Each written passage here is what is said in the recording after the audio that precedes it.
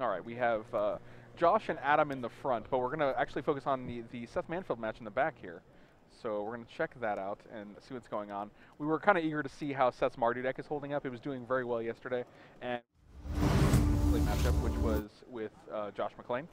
Well, it was John, John Stern, but they're both playing the same 75. They actually submitted their decks in the same email, uh, funny enough. So we have Seth on the left here and Kenneth Cordell on the right. The classic Mardu versus Abzan. Yeah, know? the classic battle. Two of the two of the Khans of Tarkir clans. Yeah. We were talking about how it's a, a match tale as old as time, you know? Yes. Unfortunately, like Sultai and uh, Jeskai and what's the what's the other one? What's the last one? Uh, Temur. Temur, Temur yes. doesn't get any love. But yeah, those three clans are just so so less represented than Mardu and uh, and Abzan. There was a stretch of time when Jeskai was the bee's knees, man. That's true. Knees. Yeah, but it was mostly combo based, right? Sure. I mean, you Ascendancy. wanted to have Jeskai Ascendancy, and it was doing a bunch of degenerate things. And, and the funny thing is, like, both of Abzan and Mardu have black and white in them. That's mm -hmm. the central theme. So I wonder if that's the strongest pull of these two colors, like having access to the black and white cards. The link that holds them together. Yeah, the, the tie that binds. The, the utter ends and the siege rhino. well, I guess not siege rhino. I was going to say crackling doom, so it's okay. Oh, crack. There you go. Yeah, we were both wrong. yes, they they both they both don't have that. Alrighty, pretty standard start for both these players. Kenneth, turn one warden of the first tree. Seth Manfield, turn two seeker of the way. Seeker of the way, a monk.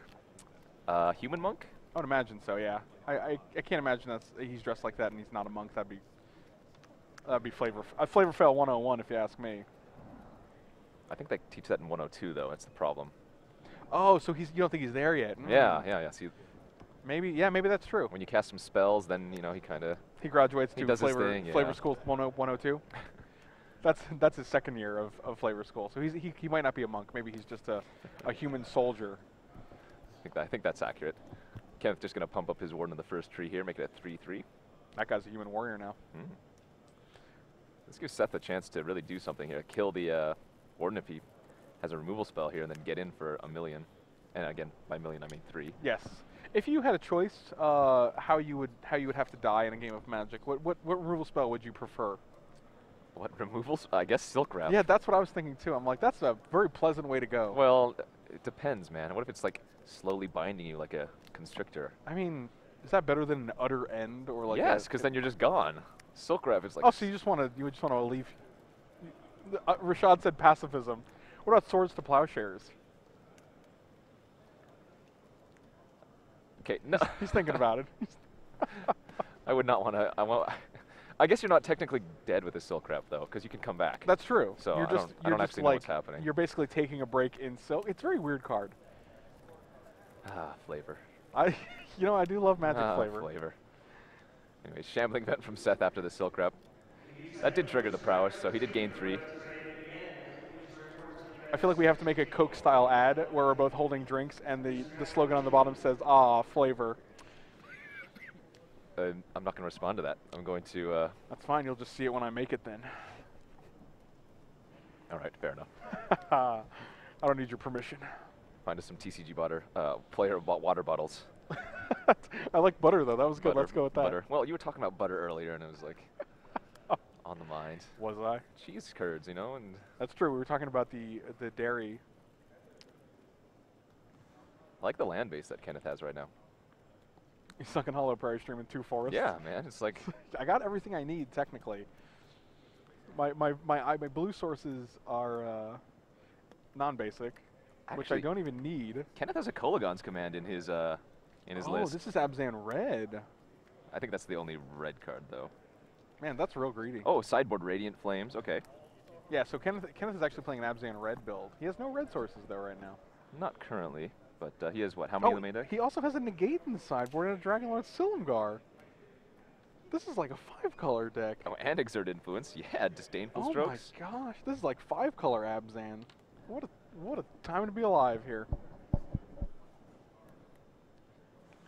Uh, it, it's still a very Abzan aggro deck, though. Yeah, is the he's thing. very it's Abzan centric. Like splashing for sideboard cards and He's basically going to get Prairie Streams and Sunken Hollows anyway, so yep. he's like, oh, I might as well cast some blue spells while I'm here. Alrighty, Anafenza on Kenneth's side. Let's see if Seth can do anything to uh, stop that. Crackling Doom would be pretty decent here. Man, Crackling Doom is such an impressive card. One red, and Kenneth knows he's just picking up his Warden. All right, and just a hangerback Walker. Seth just tosses down the Nomad Outpost. Very nomadic. Doesn't even care. I was very, I was very disappointed. Uh, I was playing a an Abzan Warriors deck this past week, and I was very disappointed that Anafenza was in it. But like, she's not a warrior; she's a soldier. So I was like, why, why aren't you a warrior? All of your Abzan friends are warriors. That's like the central theme of these of these colors. She's the leader. She doesn't need to be a warrior. She can do whatever she Yeah, wants. Until she turns into a ghost. That's true. It's, a it's called a spirit, Kenji. Yeah, Well, and you ghost spirit. Well, I think ghost is a little offensive. Maybe, maybe. Any, in any case, Anafenza the foremost, getting in for four here. No friends to buff though, unfortunately. Seth with no reasonable blocks doesn't want to trade away for hangerback. Oh, a Dromoka's command is happening. Well, that hanger back. Oh wow, get a word into the first tree. Let's make sure that And kill your hangerback, back. goes to the exile zone since Anafenza. Oh, that's true. Not sure it's going to be relevant. Uh, if Seth has delve spells, it is though. It doesn't look like he has two murderous cuts, so And Kolaghan's command can bring back, so yeah, there it goes. yeah, it's we figured it out. We made magic happen.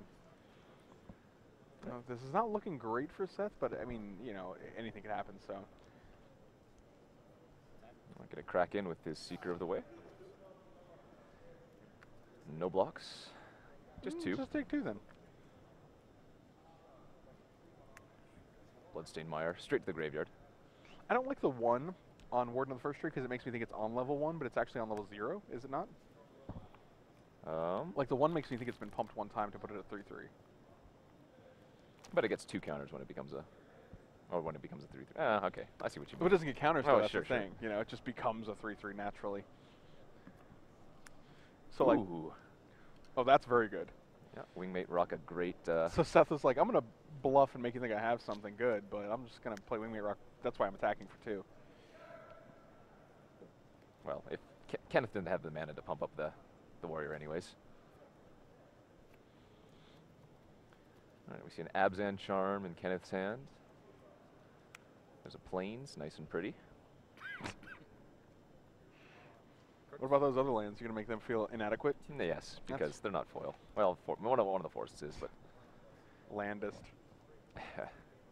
But that's fair. We've had we've had land discussions all weekend, so Sure. that's fine.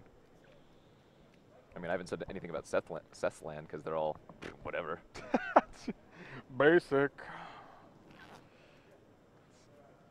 All right, and the team gets in. Uh, counter on the Warden. Look at these tiny little dice. You are going to get so many counters, Warden.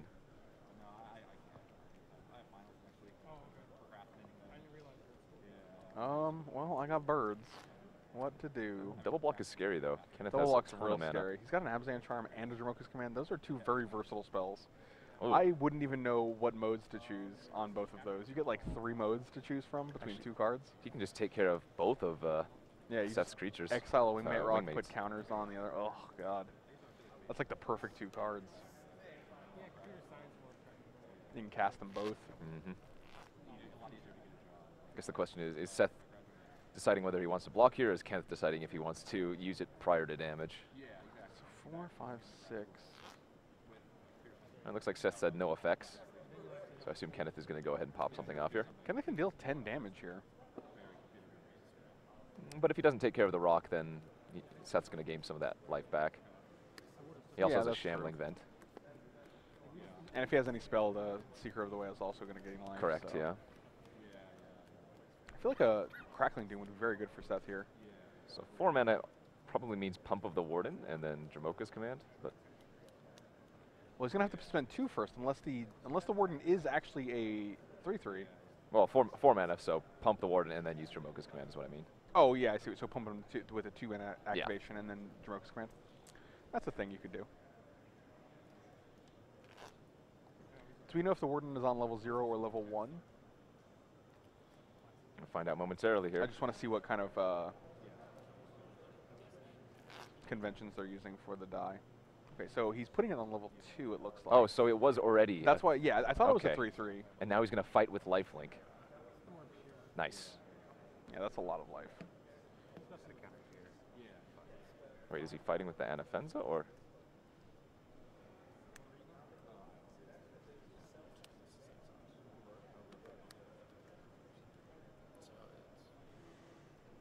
Hmm. I would definitely fought with the lifelinker. It does gain lifelink right on the second Yeah, it mode? gains lifelink and trample. So it, it definitely has like two counters on it, so it's a 5-5. Yeah, yeah, and it looks like Kenneth did gain the life. So he did fight with the Warden onto the Wingmate Roc, which did get exiled. Did he gain 10 though? He would have gained 5 from the attack itself and then 5 from the fight. Oh, sure, and an additional, yeah. so I don't. I don't think I think he just gained 5 from the attack.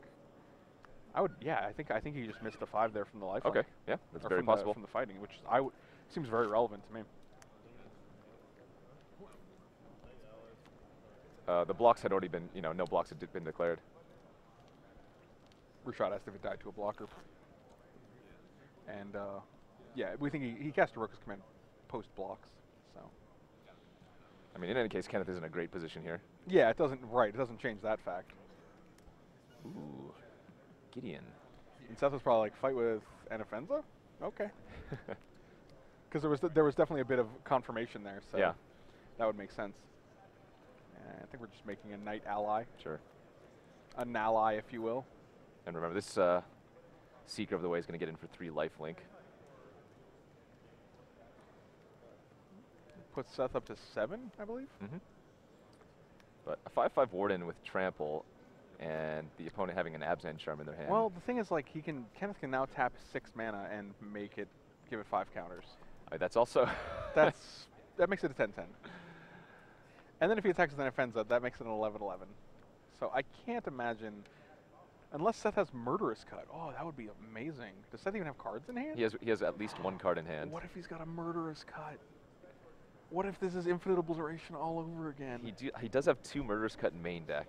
and he's got exactly four cards. Yes. I'm getting real excited. What's going to happen? Because otherwise, this is a this could be a 10-10. All right. Well, go to blocks. See what uh, Seth has lined up here. Yeah, double block. Oh, just a block block. Yeah, sure. So if you're Kenneth, you could actually just pass priority here. You, you don't need to get Yeah, you don't die. greedy. I mean, Abzan Charm can be used to exile Gideon should it uh, turn into a creature. I don't think it's I don't think it's uh, murderous cut, unfortunately, because Seth is blocking in such a way that he would only take six from the warden of the first tree, Sure. Which keeps him alive. All right, and Kenneth is going to go for it. Oh, Seth. Oh, there's a murderous cut. We're going to need the second dice. Oh, he's looking. He keeps looking. I, I. Oh man. Oh dang it! No, it's definitely not. All right, and Seth is just going to pick him up here, I guess. Oh man, that would have been so exciting. It would have been the perfect situation. He's got the one mana, four cards in the graveyard. Man. Uh, Warden of the First Tree doing a very good uh, Figure of Destiny impression. Yeah, Remember definitely, that card? definitely. Yeah. It's a nice uh, throwback to that, I think. Figure of Destiny was very impressive. Yep. Man, 4 4 for like 3 mana. Ugh. It goes 2 2, 4 4, and then like a 8 8. And here's Adam Yurchick on the left, play, also playing an Abzan deck, and Josh McClain, uh, the same rally deck that we saw last round, uh, piloted by John Stern. So we're seeing this deck do very well. Josh McClain is currently undefeated right now at 10 0, and I believe he's the only undefeated player Correct. in the event right Yeah. now. And with, what, 12 rounds of Swiss, he might, he's pretty close to lock to. Uh, I can, I would imagine so. Yeah. Yeah. I think you, I think X threes are going to make top eight. Okay, so.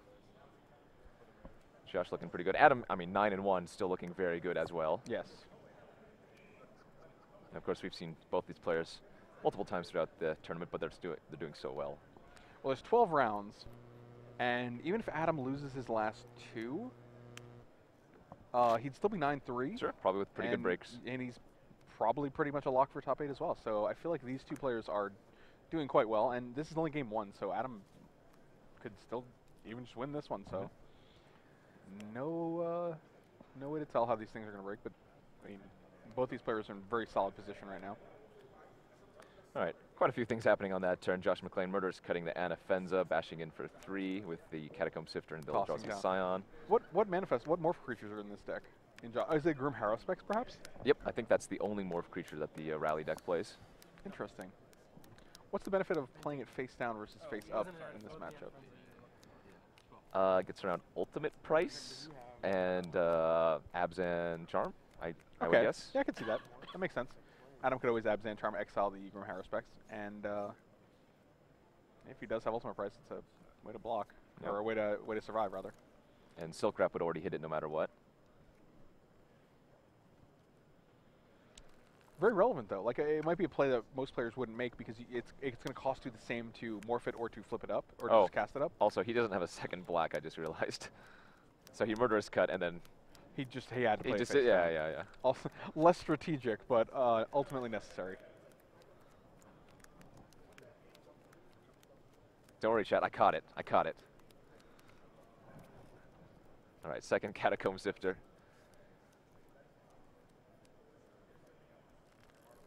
Hmm, Adam's already on eight life.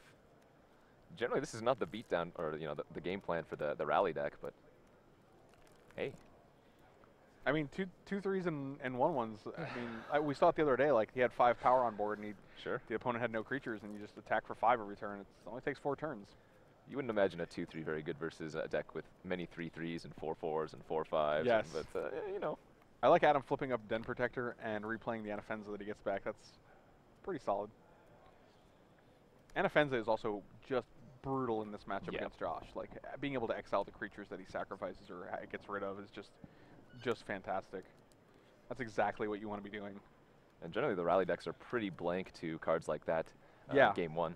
John Stern was actually saying that like uh, oh the double murderous cut. Jeez. Oh, so this must be side. This is not game one because there are four murderers cuts in uh, McClain's sideboard. So this is this is at least game two.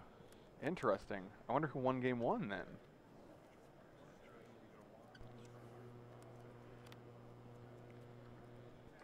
All right. Looks like some trading's going on. Damage is going through a scry. Yeah, I was talking to John Stern earlier, and he was like, "We just wish we put the uh, the murderous or the the Anafenzas in our in, in our deck for the mirror match Mhm. because it's very hard to beat."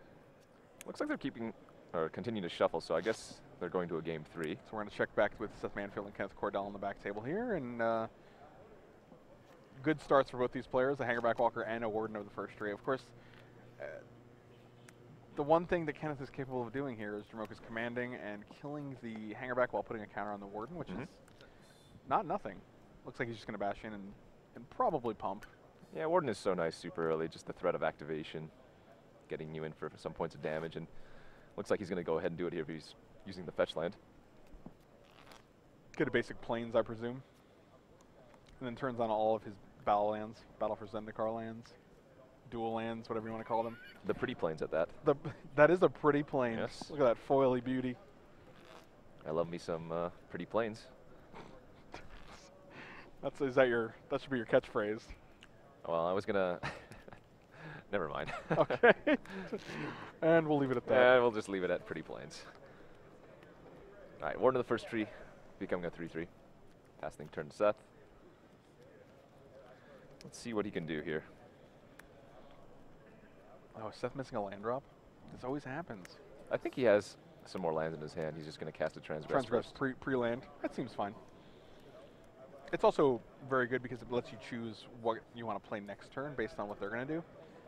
And uh, this is an interesting hand. I don't know how to like. He doesn't have the mana for Gideon here. Well, he has the double den protector with the windswept heath in the graveyard, so he can It's true. easily get back some uh, some But that takes a little bit of work. Like you're gonna have to play Den Protector next turn, flip it the turn after that, play a land. Turn after that, play Gideon. So it's gonna take it three turns for that that whole that whole cycle to get get going. Sure. But I mean, he, he could just draw an untapped land off the top. He never- that the- would never happen. You're being ridiculous right now. he might only have three lands in his deck. That, I, I, I mean, if, if he does, it's a perfect. He's perfect. He's drawing each one. just the murderous cut for a good measure. It's no, just hard. Yeah, he's like, I can never cast Yeah. this, but no one knows.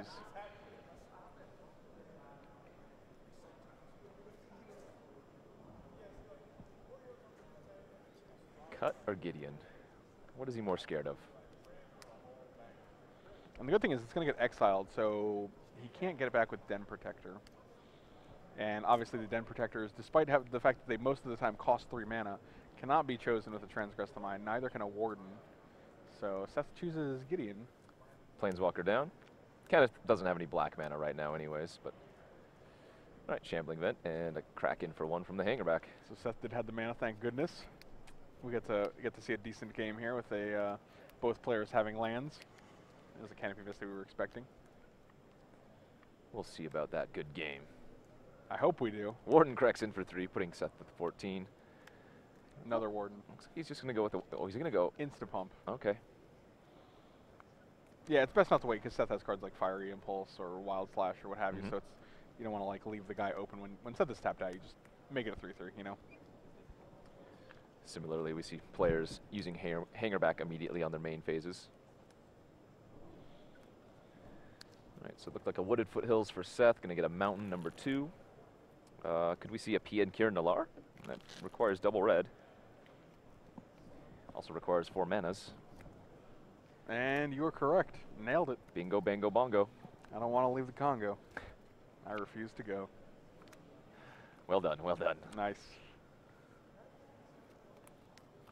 I'm no stranger. You know, it's pretty good with Pia and Kiran Nalaar. Tell me. Hangerback Walker. That's true. I can sacrifice it. I can make Thopters. I can do anything. Granted, you do need quite a bit of mana, but eh. Well, he could just actually pump it next turn, Sure. sack it to kill something, Yeah. and uh, well, you know, Pump and chuck. yes, Pump and chuck. that's that's. that's wasn't the product you were selling on your infomercial, the pump and chuck? Uh, There's got to be a better way. it's BOGO, man. If only if I act now, though, right? No, it's it's Oh, always. it's always. That's just an industry trick. but the pump and chuck is always good. Yeah, you'll always need two. Keep one in your bathroom. Keep one in your car. On the go. We'll see what uh, Seth wants to do here. Rashad just giving us glares. it's so it's so hilarious. Not even glares, he's just not shaking his Uh, head. He just has no emotion on his face whatsoever. All right, double block on one of them. Looks like uh, Kenneth is actually going to pump the other one. He wants that life. link. Yeah. Man, Seth was like, that was an interesting trade. I guess he wanted to start getting these wardens off the board though. Sure. And Seth still has three power in the air right now.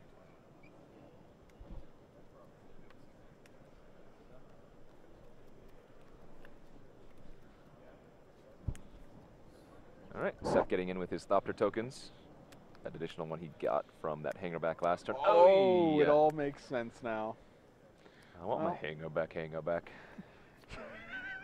Uh, that would I, I'm no stranger to that one either. That has Mhm. definitely been uh, uttered by myself, and I think Craig Wescoe as well.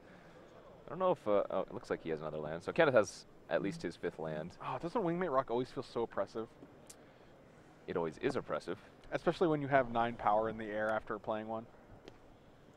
No, Kenneth is still at 18, but with three Thopter tokens, you know, It's it's real obnoxious actually. The raid they're- trigger. They're hard to deal with, and they still it, it adds up fast. hmm And we have uh, he does have his black source now. He can get a sunken hollow or a smoldering marsh or you know whatever, whatever helps him out the most. sure. And Seth knows that he has that uh, murderous cut in his hand in addition to the double uh, den protector.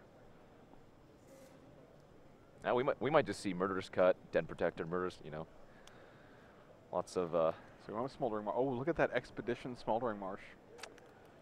I'm looking at it. Someone's fancy. I'm looking at it. Now what? That's all. Oh. You can stop now. Oh, okay. I just wanted to make sure you did it. All right. Three cards in the graveyard. So you know, we can we could see a murderous cut here plus a uh, face down den protector. That's not awful. It's not great. Well, there's face down den protector, and he looks like he is keeping murderous cut mana alive and well. Uh, the unfortunate part is by doing well, I guess you can get back murderous cut. So Yeah. I was like, the unfortunate part is he's gonna have to delve away all his cards. That's what I'm saying. He gets to do the the old chain. The, the murderous cut den protector shuffle. Yeah. Oh, classic. Granted, each time his uh, graveyard gets a little bit smaller. Oh, he's just gonna do it right now. He's like, no. So it looks like Seth is in his combat step, perhaps. Yeah, he didn't want to let the raid trigger happen. Yeah, for obvious reasons. Well, the attack trigger, you mean? Oh, sorry. Right. Yeah, I was like, uh, The raid trigger he already can happens. still, yeah, he can still raid. He's still got four guys. He didn't want no life to be gained, which would have been five life. That's a pretty sizable amount. Only one more land needed for uh, Kenneth to to go upstairs Boom Tomb with Boom Tomb. I don't. I, I, I tried to rhyme. It didn't sound good. With the Warden of the First Tree. I liked Boom Tomb. that was fantastic. I was like, what is that from? well, you know, maybe it makes sense. Boom, and then you know send Seth to the tomb. Boom Tomb. Yeah, all right. That's, oh, Aye. okay. Well, that's pretty good. See, my raid comment made sense now. but it didn't make sense that Kenneth was trying to stop raid because that did not work at all. No Boom Tomb, good sir. All right, well, double wingmate roc from Seth Manfield, back-to-back turns. Wow, I hear that's good. that's quite good. I hear three, three, four flyers is pretty solid.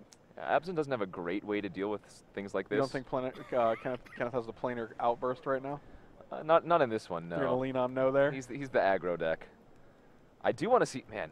I wish he had brought in exert influence. oh, just steal a wing. Would that even do enough though? You Well, just steal one. Not not that the second one's being played, no, but stealing one. Yeah, stealing the first one would yeah, be fine. great. Then you can block his thopters all day. You you you stop the the aerial beats. Yeah, and the token just jumps or the bounces off the other one. But he doesn't have any blue sources, and you know. That's because he went with the smoldering marsh instead of the sunken hollow. Yeah. And he probably doesn't have exert influence in his hand at least. We know he has it in his sideboard. He's got two copies of that bad boy. All right, what do we got here? Another murderous cut potentially. Yeah, he's like no no life gains, but yeah, Kenneth, that's still nine points This in the air, yeah. buddy.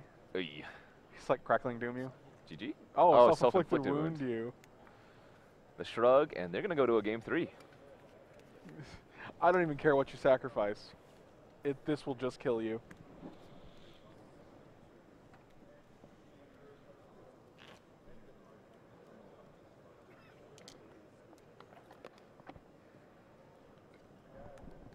Okay, that's interesting.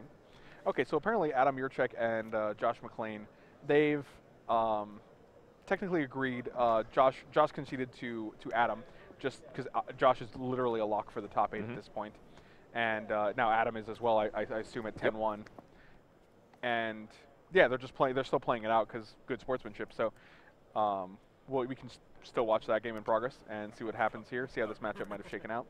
But yeah, it looks like Adam Yurchick and Josh McClain are uh, the first ones we're aware of that are locked for top eight here. So that's real sweet. Those are two amazing players, and I'm glad to see them both in the top eight this weekend. That's fantastic.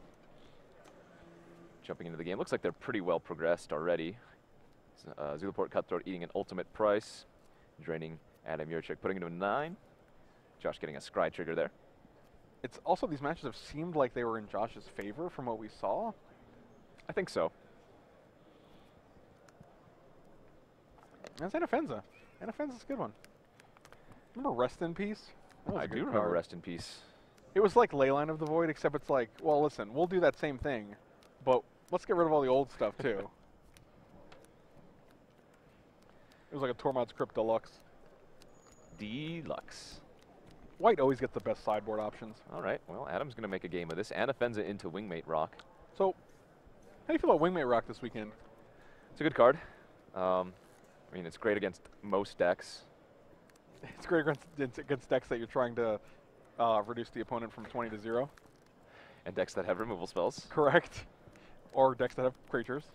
It's just so good. The four toughness is huge. The two flyers are huge. The life gain is generally pretty relevant. I remember when uh, you can cast Wingmate Roc and it would slip under Elspeth Yes. at 3 toughness. Yes. Or 3 power, rather. Yeah, this card's very good. They don't make them like they used to. Five mana used to get you a lot less back in the day. All right, second Catacomb Sifter there for Josh. Gonna get another Eldrazi Scion token. Two Catacomb Sifters versus two Birds. Oh, oh, well, he's probably bouncing the token here, I imagine. Maybe sack that, sack that spawn, bounce the token, get a scry on. Sure. No scry? You got a double scried. That was two scries. Scryon off the Does he- Scion. Does oh man. That that joke almost had me cry on. Uh, uh, I'd be Lion if I didn't think uh, Adam was just doing pretty well here. Well, that that wingmate roc sure is fly on. And then Anafenza's Dion. Oh. oh man. Double block of the Catacomb Sifters onto the Anafenza. But Adam, Ooh, wow! Siege Rhino. With another Anafenza and a Siege Rhino. He's going to go ahead and extend the hand. that was So did Josh? Oh, so Adam won the match. Adam naturally won the match Yep, then. yep. So everything worked out. Everybody wins except for Josh McClain, but he already won because he's in the top eight now. And perfect timing, actually, if we go back to our other match. They're right on their turn ones. Yeah, this is this has worked out. This this round has worked out very well for us. Mhm. Absolutely. I appreciate it, even though they uh, like a player conceded or they draw or whatever. Like I always appreciate when they play it out for the cover for the sake of coverage. Yeah. Like, it's just very. Uh, it's good. It's it's good sportsmanship. I mean, why not? They get practice if they're going to play each other in the top. as well, Exactly. so And like a, lot of times when you're like a player of that level, like there's a lot of camaraderie between the two players. So they're, you know, you just play to play. I don't, I don't know about being a player on that level though, so I don't. I I've heard things. Okay. I, can, I can understand, but I can't comprehend. Does that make sense? That's that makes that makes, to- makes okay. total sense. All right. Kenneth again with just this. These wardens have been going the distance. They've been going for speed. Uh, yes, yes, they have. This one, however, is all alone It is. in his time of need. It is currently all alone. All right, Seeker of the Way for Seth Manfield. We saw this almost the same exact start, I think, in their game one. Where, Yeah, the uh, warden versus the Seeker of yeah. the way. Monk versus human warrior. Exactly. I like that when you activate the warden and like uh, Kithkin, uh, Figure of Destiny, like they e- each activation gains like a new creature type. Mhm. First one it's like human warrior, then it's human warrior spirit, then it's human warrior spirit legend gorilla. and you're like, well, wait, why is it slow down? You don't need this many jobs. Now, the pretty much the perfect curve, uh, curve here for Kenneth. Yeah, the the one drop warden, turn two activate, turn three anafenza. Yeah. Man, Warden is doing his best watchful fit impression here. Uh, if Seth has a crackling doom, which it looks like he might, this is a, actually a great turn for Seth too. Yep. Crackling doom, you take two, I gain three. So he would take five, he'd be 14, 14, 16 in Seth's favor, which evens up the game pretty solidly. Uh, people commentating how our our pun game is not anywhere close to uh, LSV's. Man, that's unfortunate. Yeah. I feel like there's no way that's accurate. I have no comment on that. Okay. Is that not in and of itself a comment? I, I, I, Crackling Doom was the play. Seeker of the Way, get, getting in for three, gonna gain. I mean, I just felt like I life here. predicted it. I didn't need uh, I didn't need confirmation. Sure, sure. All right, Wooded Foothills for Kenneth. Now these players, uh, you said X3 might potentially make it. Well, there, were, there was talks that X3 is uh, in contention for top eight. Okay. yes. So I imagine there's going to be several high X3s that, that make the cut. So maybe not these guys since they've already got their third loss by whatever round 10, but uh, well, I mean, there's still a shot. No, absolutely play it out. I definitely want to keep uh, keep the Seth dream alive. Sure. And wow, he is just gonna level Yeah, up the warden leveled it up. again. Which I mean, that's great, but like it, it goes from a three-three to a three-three, so you're not really pulling like that much. That much. You're not pulling any more damage. Like it doesn't increase your board presence. You just get the lifelink benefit. Interesting. Well, yeah, and if Seth has any removal here, he's just gonna completely wreck Kenneth. Kenneth has does Kenneth have siege rhinos? We haven't seen a single siege rhino in these games. Yeah, there's four. he has four deck. siege rhinos. Just wanted to make sure. He also has two Nissas. He has three Wingmate Rocs of his own, but we haven't seen Okay. a lot of these creatures. I mean, we've seen mostly like Murderous Cuts, Den Protectors, Wardens, and Anafenzas. Yep. I feel like that's the concentration of spells that he's been he's been playing. I think if Seth has a removal spell here for the warden, You just get it out of the yeah. way. Send that dude packing, and then you get to swing back for three. The the return three lifelink to match Kenneth's. That's also very good. isn't bad. That's for sure. Now remember, warden has trample, so Yeah, I would chump block with the token and take one for Gideon. all right, Seeker's gonna get in for three here. Yeah, that life link, man, that's already getting what six life. Yeah, oh yeah, definitely relevant. Yeah, because the, the one the, the one shot with Crackling Doom, one shot with Gideon. Mhm. So six life is not nothing.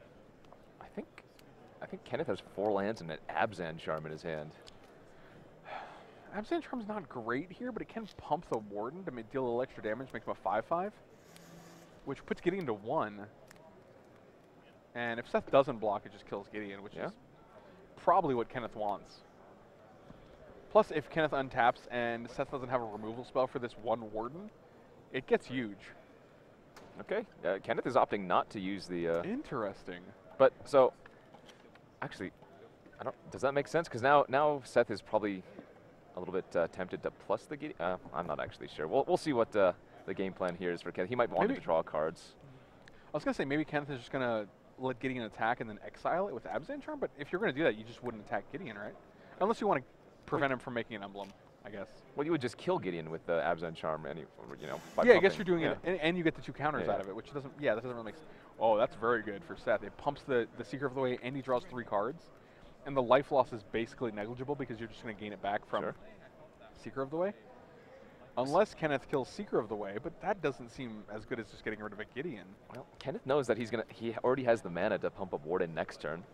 My concern is that Kenneth is going to be able to make Warden huge next turn. Like yeah, like you said, Yeah. which makes him an 10-10 if he uses Abzan Charm, 8-8 if he doesn't. With lifelink, That's very large, sir. that's that's that's disconcerting. Like I, I would hope Seth has an answer somewhere, maybe like a, a black land and a murderous cut or something. he did just draw three cards. He hasn't played a land yet, so we'll see what he's got going on here. He does have a lot of lands that would come into play tapped here, including Nomad Outpost and Shambling Vent. So it's got to be something that comes into play untapped. Silk Wrap still gets rid of Warden of the first tree too. Yes, it does. which is very sweet. Abzan Charm cannot get rid of a Silk Wrap either. It's not a Dromoka's command. Whoa, that's a... So I think he's definitely going to Abzan Charm something here. I don't think he wants to take 10. Yep. See, this is just really Yeah. awkward now to me. Because I feel like you could have done the same thing last turn and also had two extra counters Yeah, your on Warden your, would your have Abzan. Your, your Warden. Mm. On your Abzan. Put him on your Abzan. Slightly awkward, but uh, we'll see what Kenneth can do from this. I mean, he has nothing but lands in hand, so I assume the Warden is just going to go large. Okay. Oh, oh. Something's happening. I'll just Hangerback Walker. If that was a Silk Wrap, I would have been real excited. uh, another Warden, yeah, he's just going big. Yeah, and Seth is tapped out. I think your safest play is just an attack for eight. With lifelink and trample. Yep, he's doing it. Right. Well, it's a big life swing, It's eight. uh, yeah, it's a 16 point life swing. It's not unre- It's not reasonable in any in any capacity.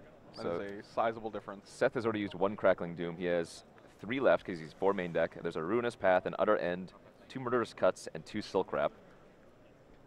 A lot of answers potentially definitely, yeah, from he definitely has a lot of answers. He might have even needed to just untap. Like any crackling doom just kills this guy. Four mana? Oh, utter And end's there's the. Utter End. Yeah, that's great.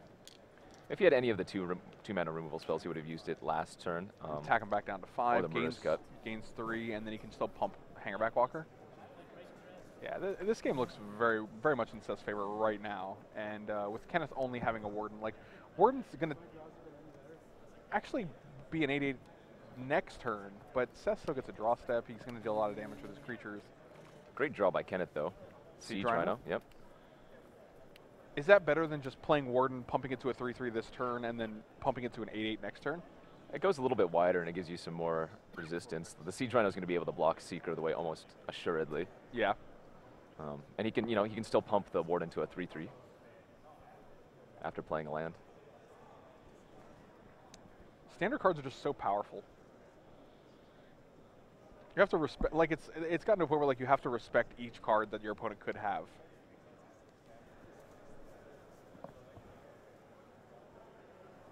Alrighty, Polluted Delta.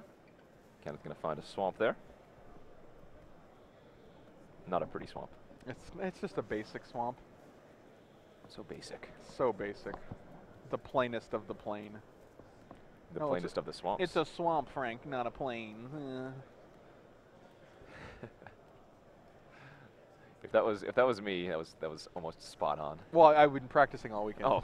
I mean, we go we we've been getting back to our rooms like nine or ten. So Sure. I, I mean, I spent at least three hours last night trying to get the voice down. So Fair enough. All right, looks like Siege Rhino and Warden pump up once.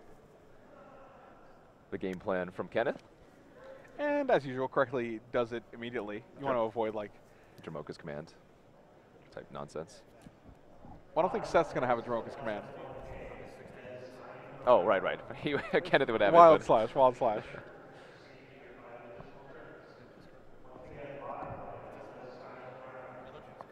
All right, what can Seth pull together here? He is up a lot of cards from that. Uh, The Painful Truths is Yep. no joke, man. Yep. I love the uh, the Seeker of the Way into painful truths because it just negates the life loss. hmm Did Seth just pass? Shambling Vents pass. Ooh, That's sh- shimmering vent. Vents pass. I'm gonna get you. I'm gonna get you every time. All right. What did uh, This is interesting. what did Kenneth draw? Just another land.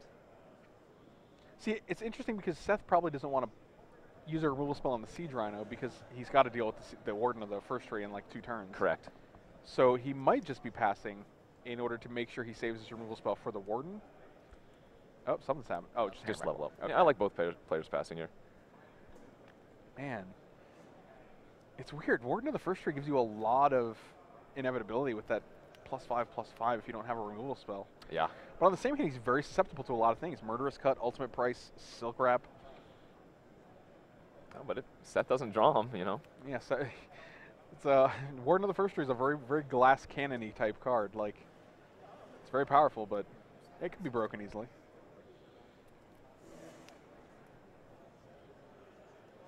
My uncle was a Warden of the First Tree. I don't believe you. It's unfortunate. Good. I just nipped that in the bud. oh man, okay. it appears you are wise to my tricks, sir. Looks like uh, one of the knights is going to get in here. Which one? The the one on top. That's the only one that is. Yep. The Gideon Knight. You ever look at a creature on a card and you're like, why is this only this power and toughness? Um, yes. I Okay. guess. You're not sure though. Oh. Like I would look at that knight and I'm like, you got a horse and a sword. Why are you only a two-two? Uh, humans aren't generally very powerful. No, that's unfortunate. Wingmate Roc. Oh yes. That's a nice one. So he was willing to throw away his 2-2 just to get the trigger. And, and and Kenneth took it. He's like, I'm not. I ain't trying to deal with any of those shenanigans. All right. End of turn pump up.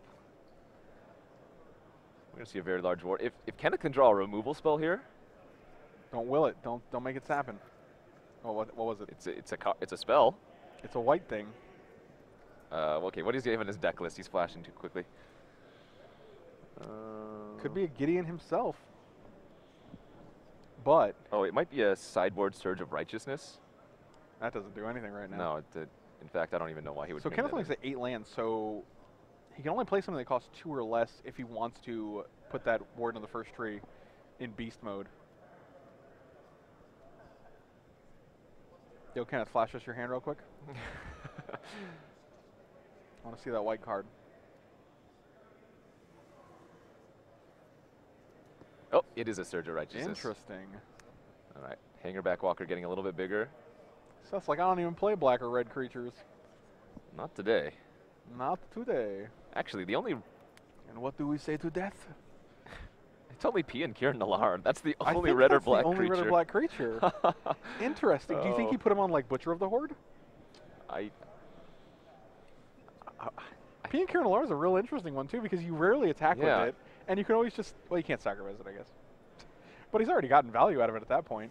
You made two dudes. I mean, maybe he took out something that was worse than Kenneth Surge. might have just drawn a blank there. I don't think there's anything in his main deck worse than Surge. All his cards are very good. That's the thing about Abzan though. Like all your cards are in independently strong. Like exert influence there would have been nutters. Steal your wingmate roc, like we had mentioned you think earlier. Seth drew a removal spell? I feel like that's reasonable considering how bold he is. Like knowing that Kenneth has the ability to make an 8-8. Then again, Seth could just triple block the uh, Warden, and with Hangerback being a 5-5, like he's gonna get five one ones, Mhm. and Warden would die. Well, It would die. What were you gonna say?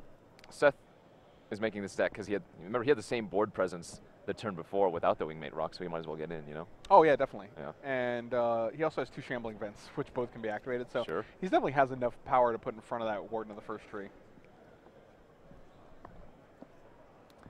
So we're thinking about stuff in response to the warden here. Oh, old Crackly. No, he's. I, I don't think he's actually. I think he's letting it respond, right?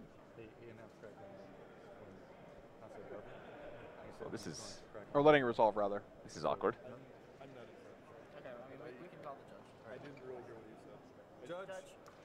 Yeah, they're probably asking you Judge. like I think Seth wanted had the intent to make the let the uh, warden resolve. Yeah, yeah. Almost certainly. Judge. Judge. Judge. I just heard them both say judge at the same time. Man, it was like a it was it was very surreal because I'm watching them and then I heard it in the background. I mean, it's like Fr- from our point of view, it looked like it was in response. I think for Ollie just walked up. Apparently, he won his last round. He, Franklin didn't have to do you, I wonder if he's a lock for the top eight right now.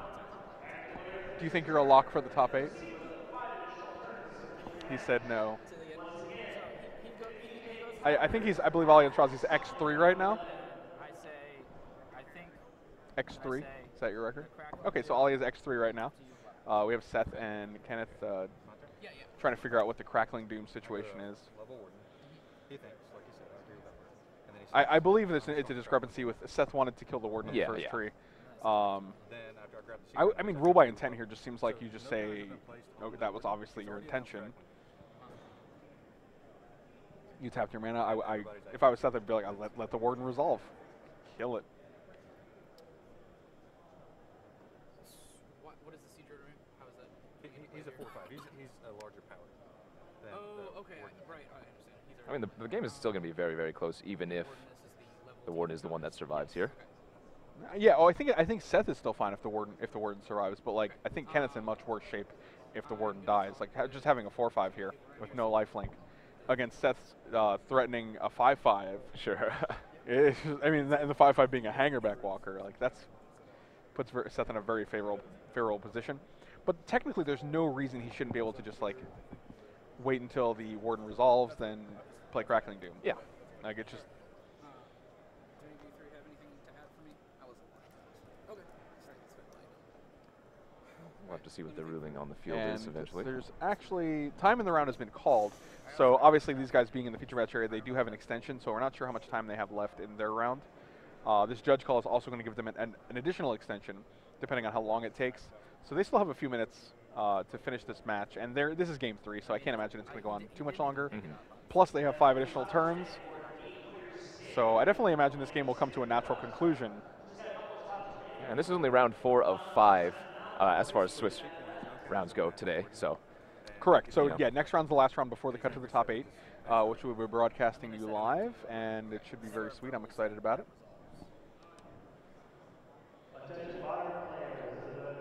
And as we said earlier, we already have Adam Yurchick and uh, Josh McClain Yep. confirmed in the Yep. top eight. you're watching their match previously, the old four color rally versus another Abzan. Yeah, and they still played it out on camera, which was sweet. Uh, very appreciative of that. I would like to. I don't know. What do you think the top eight's going to be looking like? We know Abzan and four color rally for sure.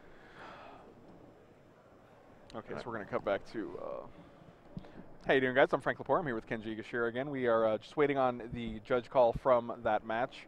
Uh, it, we're not really sure what's going on. Uh, it looked like there was some- yeah. Yeah, it seems like there's a discrepancy with the um, with when the timing of the crackling doom for Seth Manfield. I believe his opponent thought he was responding to the activation of Warden of the First Tree, Mhm. but it seems like it was actually uh, letting let it resolve, then play Crackling Doom to get rid of the Warden of the First Tree when it was an 8-8. Uh, then also, uh, Kenneth would also take two at that point, which puts me even worse.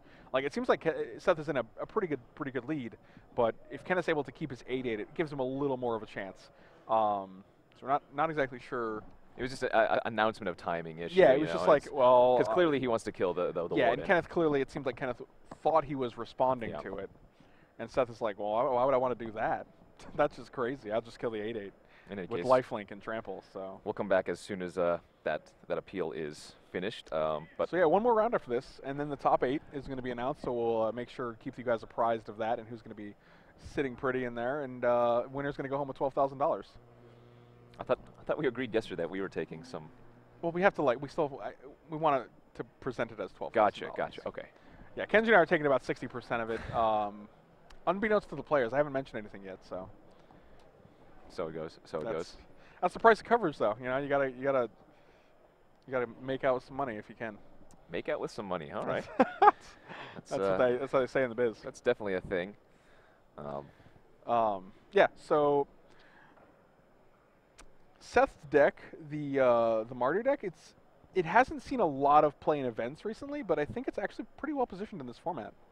I don't know. I think I think most of the time I'd rather just be playing Abzan than. Really? Yeah, the, the red adds How dare you? some stuff, like we had mentioned Crackling Doom earlier, but it, it just feels like the green cards are bigger and better. Do you think so? I think so. Interesting. You don't like Pia and Kiran Nalaar? It's double red. It's fine. It does some work with Hangerback Walker, but we've seen Abzan a lot, doing a lot more work. command? That card's very well positioned, sure, but you know, You even can, get, you can get back a wingmate roc or a, a hangerback walker. Kenneth has that card in his deck too. That's true. Okay, that's true. He does. Right? Yeah, Kenneth is more of a five color deck. He does have exert influence in the sideboard. Uh, we also see cards like Dragonlord Silumgar and Negate in the sideboard, which is interesting. Um, so yeah, it's more of a five color Abzan deck than just a regular Abzan Mhm. aggro deck. Um, we, some, sometimes you're calling it Abzan red if it has red, or Abzan blue if it has blue, but this has both red and blue. And he does have the one Kolaghan's command in the main deck, interestingly enough. I don't think we've seen any of these sideboard cards. Yeah, yeah, haven't seen any of the sideboard cards except for Surge of Righteousness, which actually wasn't that great against Seth. Like the card doesn't make him sacrifice anything except for maybe Pia and Kiran Nalaar. Uh, The, the card is actually just awful in the matchup. It's kind of funny that it, it was brought in. I mean, I, I- like you see Mardu, right? yeah. So You you see red, black, and maybe white like and Butcher of the Horde or maybe uh, there's also been a lot of match, a lot of Mardu decks this weekend that have had Abbot of Keral Keep, but Seth doesn't have Abbots. He his his only creatures are four Seeker of the Way, uh, four Hangerback Walker, three Pia and Kiran Nalaar, and t- two Wingmate Rocs. So you know the only card you're actually going to be able to Surge of Righteousness is a Pia and Kiran Nalaar, and you're never really attacking with that guy anyway. No. Like you're just usually holding it back, sacrificing your creatures, like unless the coast is extremely clear. Like, but it's never it never is against Abzan. You're never going to attack your two two into their four five or their three three warden. So, you know, Pia and Kiran is not even a card that lends itself to attacking into Abzan creatures. So it's a very interesting inclusion there. I think you just put them on the having the wrong creatures. Uh, and I think that's the case. And you know, a lot of people, they, Surge of Righteousness is such a good sideboard card when it is good. Right. It's just not good here. And and the other thing is like the one painful truth for Seth. Every time we've seen Seth play it has been just fantastic. Well, just and entire weekend in any deck. I would very, I would, I'd be interested to see if Seth wanted to go up to another, a second Painful Truths perhaps, because he only has one in the main deck. He also has one in the sideboard. Um, we don't actually know the rest of Seth's yeah, sideboard just, though. just like yesterday, we don't Yeah. know what uh, Seth Seth's has a, a secret 12 sideboard cards or so, because he, we, we can only see about four of them on his deck list before it was cut off, and there's another sheet we just haven't had. Uh, so we can only see about 11 or 12 cards in Seth's list. Um, but i i what we see is two infinite obliterations, which aren't, probably aren't going to come in against Abzan, and one outpost siege, one painful truths. I can see him bringing in painful truths in this matchup because this is kind of a grindy matchup. Mhm. Yeah, for sure. Who do you think the control deck is in the Abzan versus Mardu matchup? I think it's Seth, Yeah, I think so too. the Mardu list. He just has much more removal.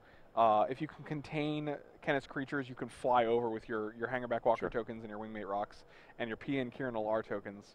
So it just gives you a lot more. He has a lot more over the top reach. Well, Se- Seth can have some aggressive draws, but mainly he's just trying to get a little bit of a board advantage before finally just, you know, doing the finishing Yeah. blow. Agreed. Agreed. As the weekend overall, how do you think this tournament's been? You know, has it been your your uh, what you expected for I think so, but it's also been a lot of like interesting decks. Like I, I really love the Ali Aintrazi list, the uh, the blue green ramp deck. I also love um, the Mardu list. Mhm. Seth and, and Adam Yurchick were both talking about this this deck this week, and uh, turns out Seth's been doing pretty well with it. He's seven three right now, or yeah, seven three. Potentially seven four though. potentially uh, or potentially eight four eight, or eight three rather. Yeah, I mean this I I mm, this match looks like it's going well for him, and it looks like he's actually clawed his way back from uh, almost losing. You know, it's it, it looks like his his deck has been pretty well for him. He he was facing up against the eight eight um, Warden the Warden of the first tree, the first one. And then he killed that, and then then he, then someone plays another one. So now he's, he almost has a second eight eight warden of the first tree to contend with, and um, you know he's doing it. Like he, he definitely had the he's crackling doom. We're just trying to see how the judges rule.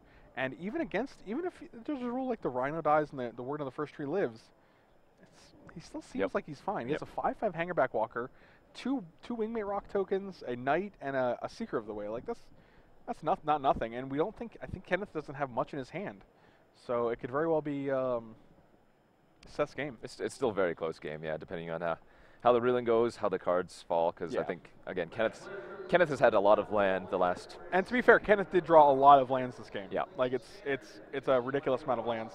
Um, he was basically flooded. He's and one of his non-land cards was the Surge of Righteousness, Mm. as we mentioned, and that's kind of a blank. Like it's it's literally just a blank. It's he can actually sacrifice. He can cast it to actually sacrifice one of his own creatures or destroy one of his own black or red creatures, uh, to gain two life if he has to. But that doesn't seem ideal. I- I think, I think we've harped enough on this surge. I think it's, uh, it's, yeah, it's just not very Yeah, good here. I, I feel like I have a surge of negative negative comments Sure, to, sure. Like to I make mean, about that card. Dragon Lord Silumgar, Exert Influence, some nice cards. I would love to see a card like Dragonlord Silumgar uh, or Exert Influence come in and steal like a Wingmate Roc or a Hangerback Walker even. That would be fantastic. So it looks like they ruled that To clarify, that's six. Seth did respond to the trigger Yes. and uh, killed the Siege Rhino instead. All right, so let's see what happens. Kenneth is still going to take two damage. And he does activate. So Kenneth does get to untap and draw a card. Let's see what happens. Could be something like if it's something like Dromoka's command. It's actually very powerful. Yeah, a removal spell would be huge. Oh, Oh, uh, murderous cut. That was That that is. that's exactly what we were afraid of. what was the other card in his hand? You said it was a wingmate roc. No, is it? Is it? a Oh no, sorry, it was the Surge Surge, of Righteous. right? Right, right, right. Come on. We've been going over it. The- not I, I was the Surge of Wrong there, not the Surge of. Righteousness. Surge of wrongchousness is more like it. Am I right? oh my. Just I mean, murderous cut was one of the perfect draws here for yeah, Kenneth. I agree. and Especially when he has uh, like like the lifelink and trample. Yep. If he didn't have trample, that's well, that's one thing. Is you have to even if you kill the blocker, like it still doesn't trample over. Yep. Um, but the fact that you he Seth can block with any number of creatures, he can kill one of them and still trample over and survive. It's just brutal. I mean, so unlike Kithkin, Warden of the First Tree is activatable multiple times. Yes, exactly. So you're not just making it an 8-8, you're putting five counters on it. So he could even do that again right now and put make it a 13-13. And still have murderous cut open. Man, that's pretty Oh. bad. I feel like uh, I feel like this call really Uh, uh, yeah, well, obviously it was the. it was real bad for Seth, which is unfortunate. I feel like this is a technicality. Um, I feel like Seth wanted to kill the warden. I, mm, I'm not sure. What if it just turns out Seth has another crackling too? he just slow rolls it the whole time. He's like, oh, by the way, boop. We'll have to see here. So Kenneth is attacking in with the Warden. Like we mentioned, it is Yeah, I had a feeling he might. potentially a 13-13 here. Murderous cut in hand now as backup. Can you imagine if Seth's just slow rolling a removal spell? Oh man, we haven't seen any cards in Seth's hand. He's just a little too far back for us. Seth keeps him very close to his chest. You know, it's, it's That's both f- figuratively and literally. yep.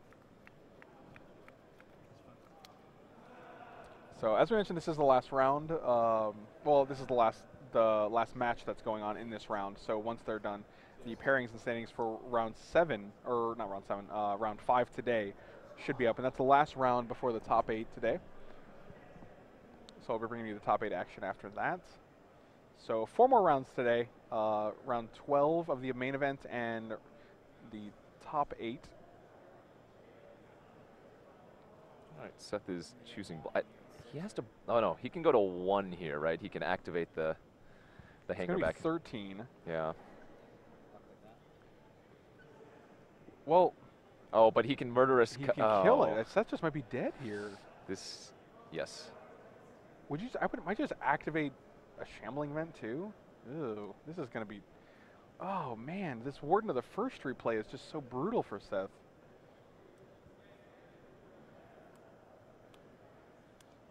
All right, let's see what happens. Oh man, he's gonna pump it. Make my guy a 13-13. Trample. Can you imagine if Seth does have the removal spell? He just makes him waste his. He's. And this is the right play to make. You will let him waste his mana. I need another five. uh, I don't feel good about this. All right, here we go. Oh, hold on. Mana's. Oh, he's just pumping. Dang it, I was getting so excited. I'm like, mana's being tapped. That should be a five. And murderous cut in response. And that's the. And oh, gonna have to man, pick up that's his so cards. disappointing. Right, unfortunate turn of events there. yeah, that is not the way you want to lose there. You got a Craig Wescoe in, in Seth Manfield's corner there.